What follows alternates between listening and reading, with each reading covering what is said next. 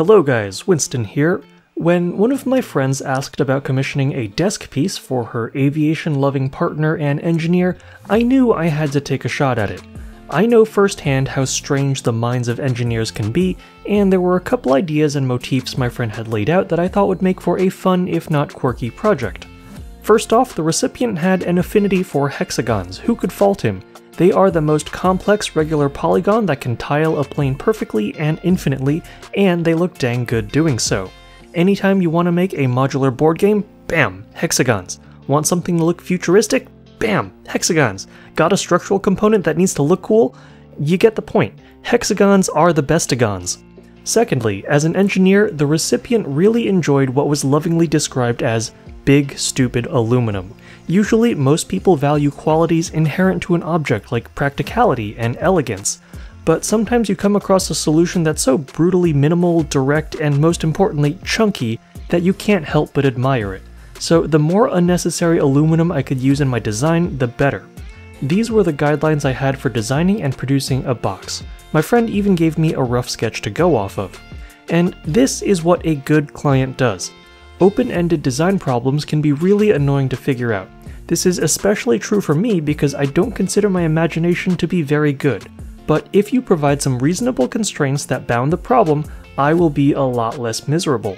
Establishing size and form factor up front went a long way towards making me a lot more comfortable with this project. Now, I would have loved to slap a 20 pound brick of aluminum onto a UMC 750 and go wild, but it just wasn't practical or cost effective, nor was I qualified to borrow the UMC at work. I figured using a thick aluminum plate as part of the box would be the next best thing, but trying to make a solid aluminum box would have been a bridge too far for my capabilities. So I had to go back and look at this from a woodworking perspective and think about the ways that you can make a box from flat materials. Based on my experience prototyping a wooden PC enclosure for artesian builds, the idea of a continuous grain wrap really stuck with me. If I could machine segments with properly beveled sides, I could roll them up into the walls of a hexagonal box. A 60 degree V-bit would be perfect for this.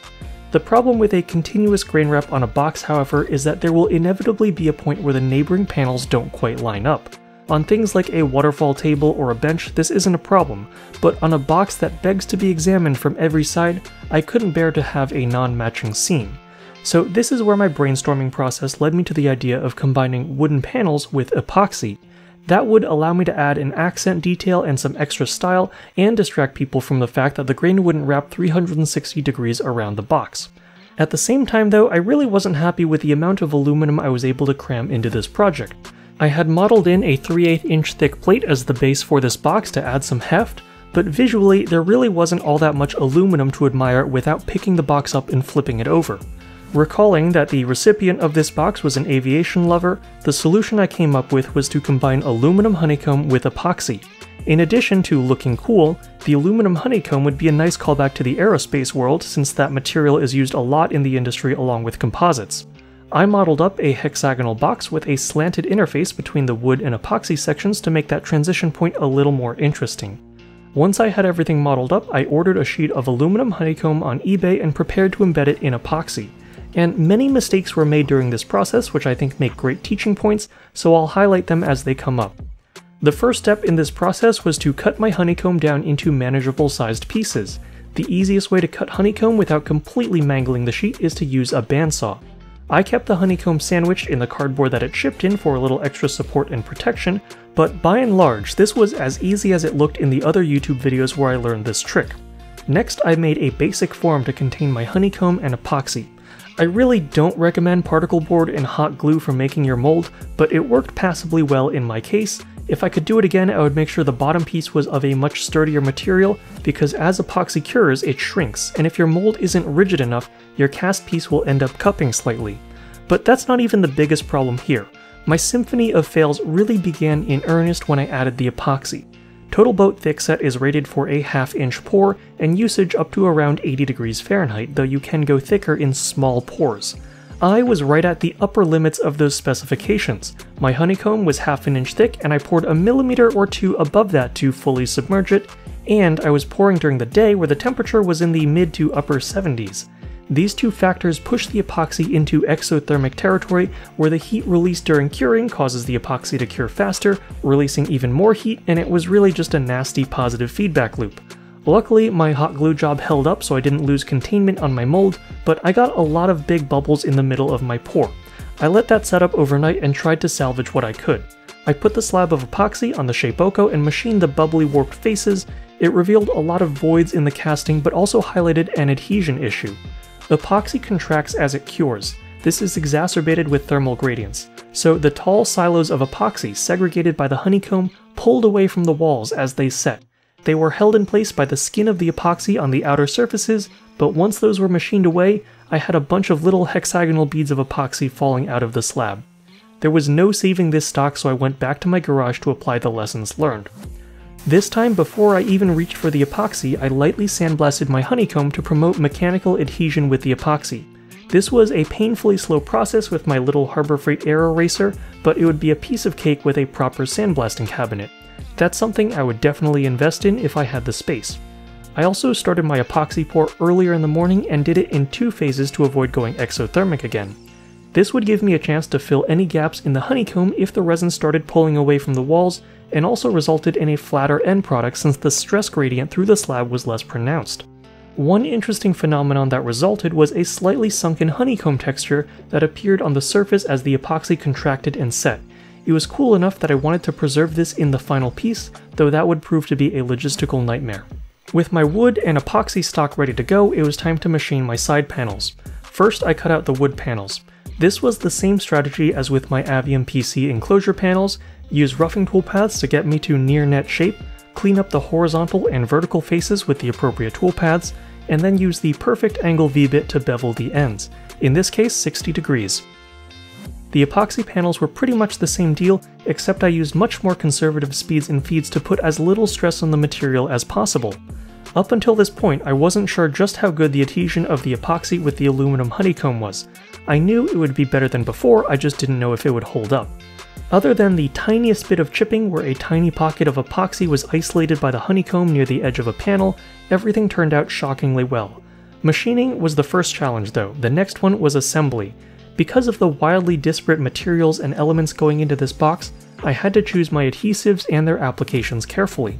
For epoxy to epoxy and epoxy to wood interfaces, the obvious choice was more epoxy, and I made sure to scuff up the mating faces first with coarse grit sandpaper. For the wood to wood interfaces, I would of course use wood glue. Individually, these operations to stick pieces together wouldn't be a big deal, but one factor I kept a very close eye on was squeeze out.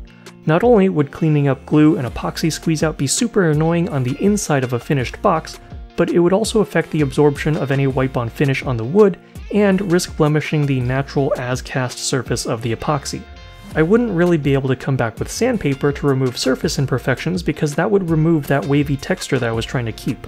So I worked slowly with a lot of masking tape at my seam lines and was quick to wipe up any squeeze out. Also, because of the construction of this box with the bottom being held in a groove, the aluminum plate I was using as the base of the box had to be installed at the time of the final glue up. In hindsight, I probably could have blocked in the base plate later, but at the time I wanted the box to be made of as few separate pieces as possible.